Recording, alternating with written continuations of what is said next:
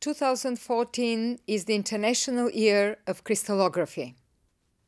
100 years ago, we discovered that X rays could be used to see the structure of matter.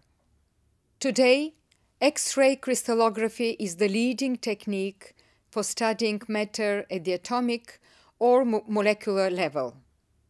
Crystallography forms the backbone of a wide range of industries, from pharmaceuticals agri foodstuffs and aeronautics, to computing, mining, and space sciences, and it is vital for developing almost all new materials.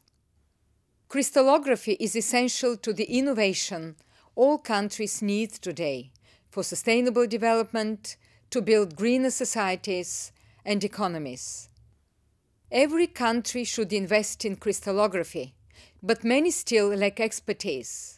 This is why UNESCO and the International Union of Crystallography have joined forces to shine the spotlight on crystallography.